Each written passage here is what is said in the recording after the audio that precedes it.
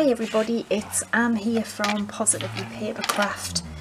And I've been getting a lot of requests um, from people about doing a tutorial on this Spooky Spells uh, book that I made. Um, and you can just put loads of different gifts in or whatever you want. I made mine for a Halloween collaboration I was in um, and I thought it would be a great idea to put little treats and things in. So I've had loads of people asking if I would do a tutorial. So that's what I'm going to do today. But uh, I also thought when I was making this that you, you don't have to make it Halloween. You can do it lots of different styles. So we're going to do a Christmas one because um, that was me next idea was I thought, oh, Christmas. So it's really, really easy to make. Now, you will need a piece of 12 by 12 card though. Um, that's what you're going to need for the actual like base of the book. Hang on, I forgot me instru not instructions but measurements. So that bit needs to measure 10 and a half by 12 inches. Okay. And you're going to score that at one and a half um, and three inches on all four sides and that's just to reinforce it. Then for the cover and the back cover you need two pieces which are both four and a half inches by it's either six well I've got six and six sixteenths um, but I might be able to adjust that. So if you hang on for that we'll clarify their measurements in a minute. And then the spine um, needs to be six and one eighths by one and three quarters. So we're going to score this first as I said one and a half and three inches on all four sides okay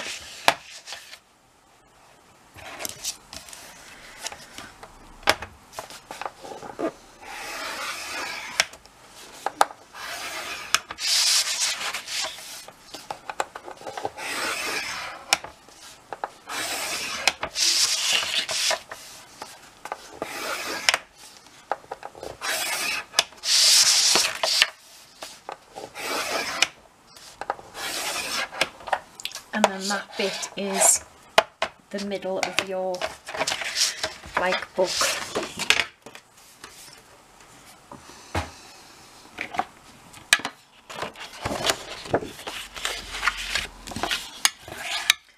It's just folded and burnished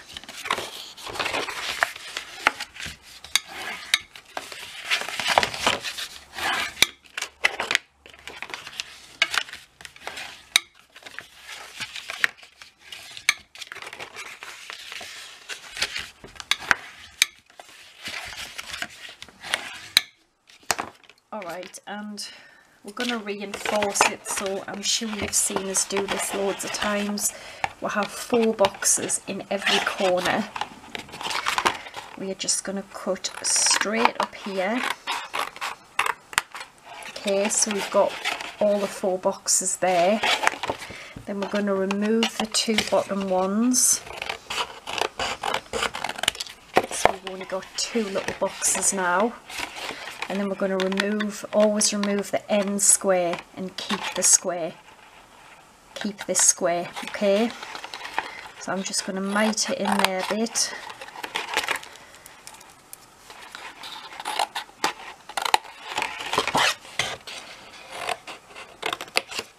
And just like mite it in all of the sides really so bits don't get in the way. And then you're just going to do that on all four sides.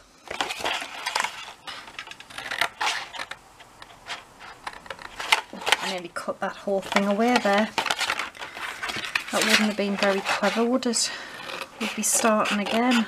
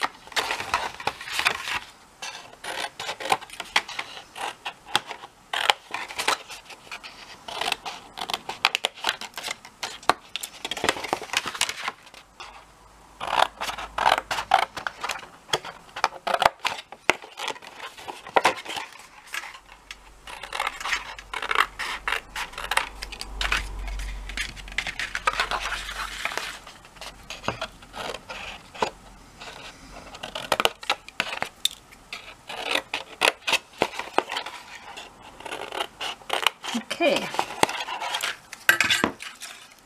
So there is all of our little bits cut away there.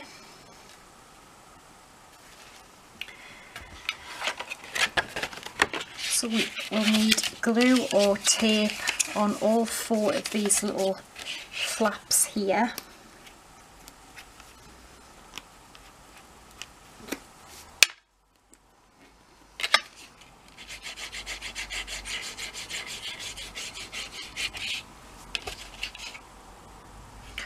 See, no, because we haven't scored it yet. Oh God, get that glue off there.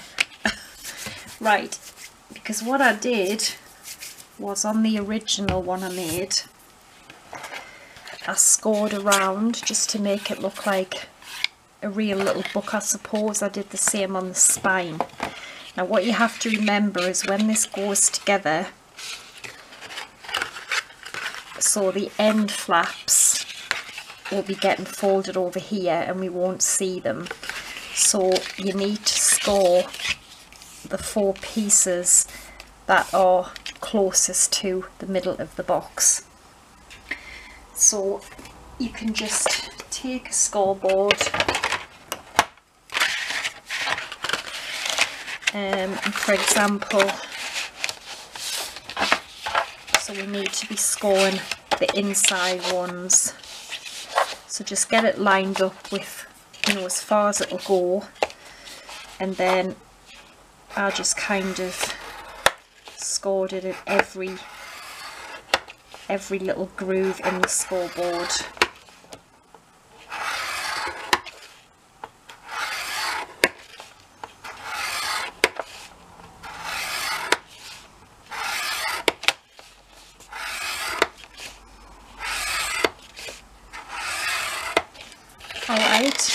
And then it looks like that. So you'll need to do that on all of your four sides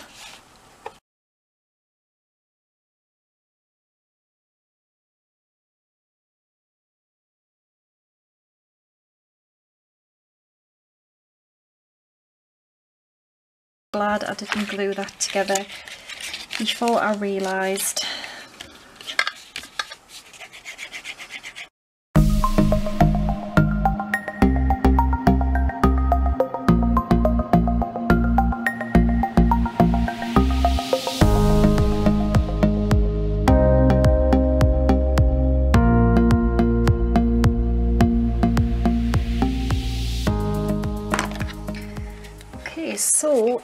end up with what looks like that now. And that's basically the basis of your book. Now the spine. What we need to do is score this at a quarter of an inch on each side. On the short side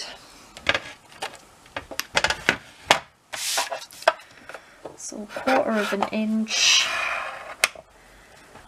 So it would be a quarter of an inch and then two inches.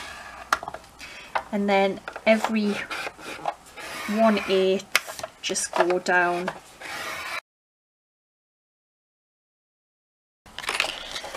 And then just fold the quarter of an inch ones.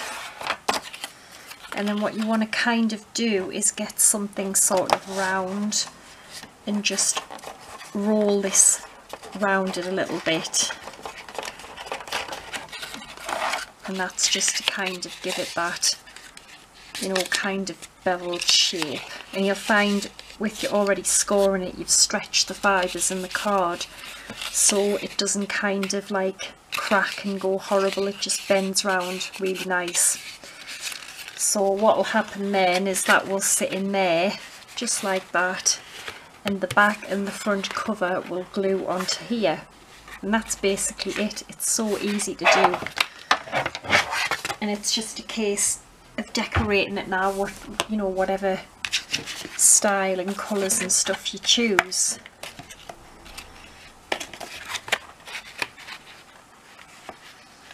So that would get just glued onto there your front and then one will be your back. So you can decorate these before you stick them on the box.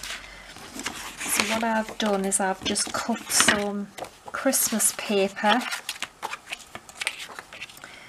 and I've just made it kind of a little bit shorter just to give a bit of a border around. I've got a few here because so I'm going to have that on the front. Now as well so we I put ribbon on we can attach the ribbon to the inside of the cover. So I'm going to pop this on the front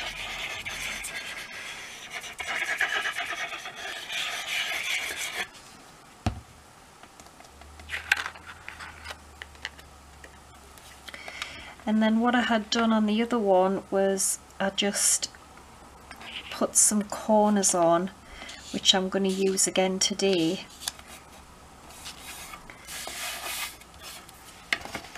They were just die cuts and I just used gilding wax on them. So what I've done is again I've cut four of these little corner dies out. Um, and I'm gonna pop them like that because I really like the look of this little die. It's this die here and it's from Alina Crafts. So I think my battery's going to run out. I'm just going to stick all these on. Um, and what else did I do for the front? Oh yeah, I made this gorgeous um, snow globe. I only put glitter in. I put like white glitter there and I put bits of silver there um, and obviously it's like a shaker kind of globe. Um, I don't know where it's from because I swapped it from Joe who's in my Facebook group. Um, but that's what I'm going to put on the front so that will go there. Um, and then obviously the little corners so I'll stick all that on and I'll be back when it's done. Okay everyone I have attached the corners and the uh, snow globe. Now I don't know what I'm thinking of here. I'm telling you that you need two pieces for your front and back. You don't, you actually only need one. So I don't know where the hell I've got that from. right, you don't need a back one because everything sticks to the actual back of the box.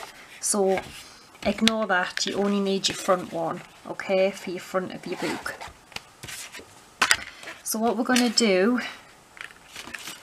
is take our little spine. And we're just going to attach it onto the back like this okay? So you just want some glue down here and it's going to glue we're going to start by gluing it onto the back alright just like that. So we want glue down here or you can use tape if you want it's up to you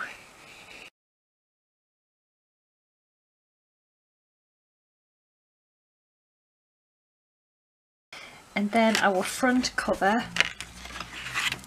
we're going to have tape down here and that is going to stick on there. And there we have our book which I think it looks really really nice as a Christmas one.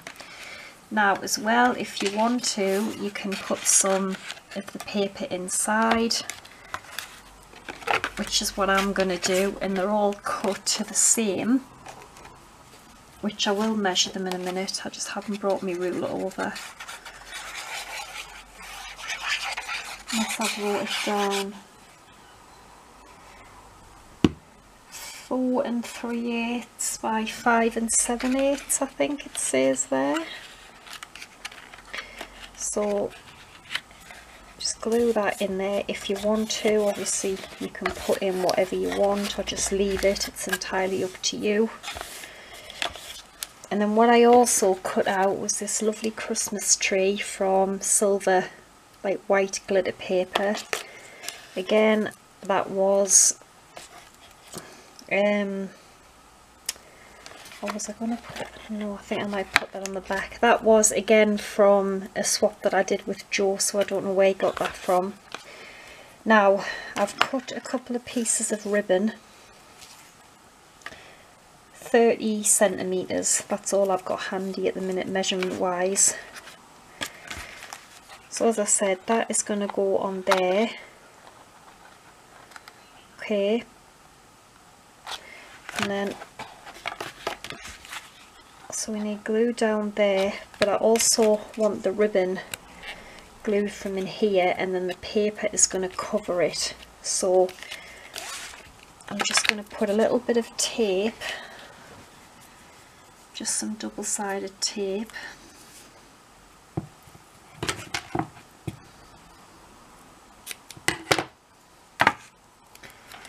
just roughly in the middle of the book. I mean, it's going to get covered anyway, so.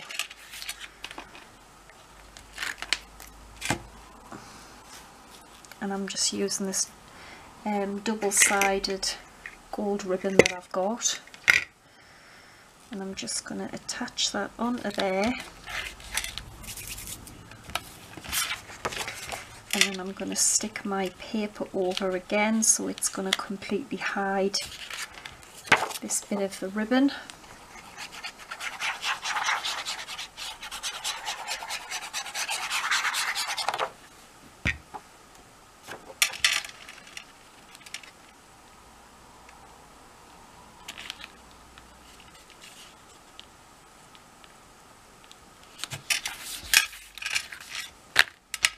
okay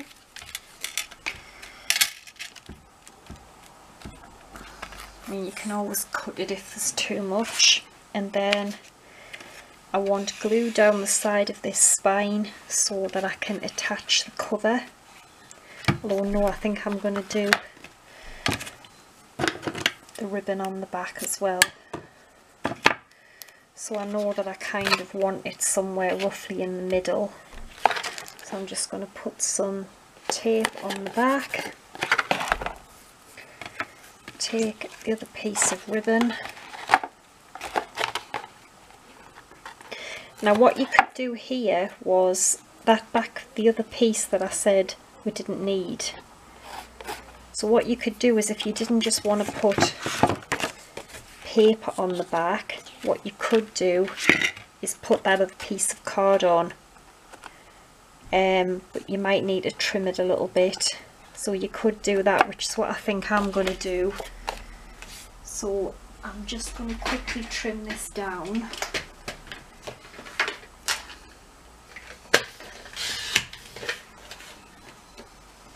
Just see if that fits now. Yeah that's better. So I'm going to have that piece of card on the back but like I say you don't necessarily need it. You could just uh, use paper if you wanted to.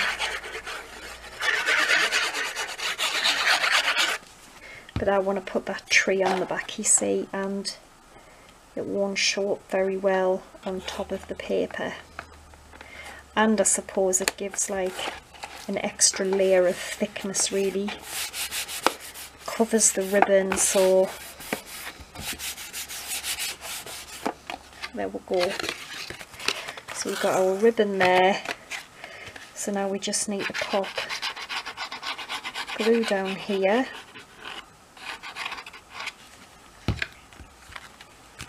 And we're going to glue this on here.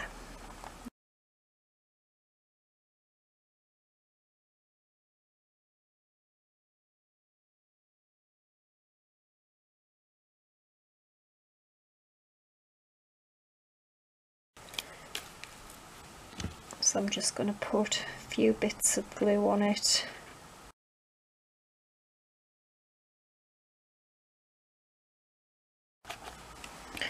I'd also cut this ivy stuff out as well but I don't know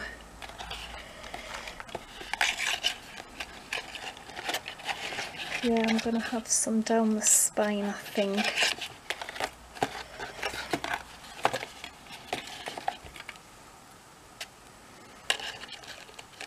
just kind of draping down there.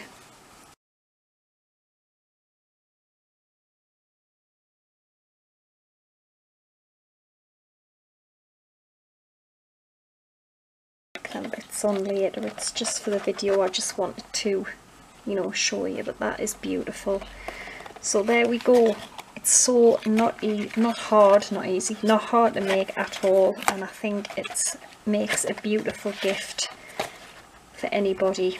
So I hope you've enjoyed it. Um, I hope you'll give one a try.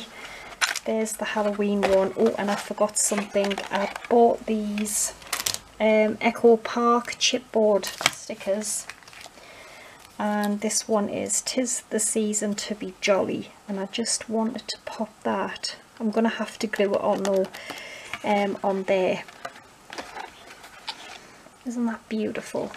Especially with the ivy down the side. So yeah thanks for watching. Take care and bye for now